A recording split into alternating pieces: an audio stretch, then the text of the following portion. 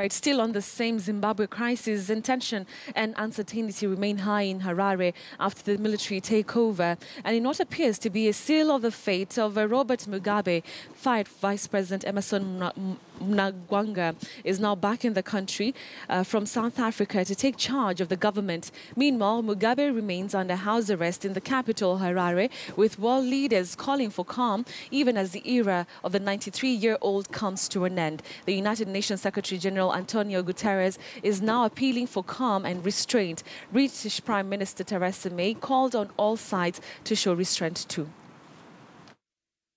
Uh, a little bit confusing right now, and we're trying to get the details on this.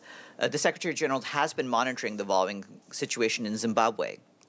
He appeals for calm, nonviolence, and restraint.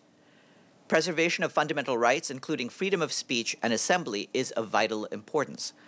The Secretary General stresses the importance of resolving political differences through peaceful means and dialogue and in line with the country's constitution. In this context, he notes the efforts of the Southern African Development Community.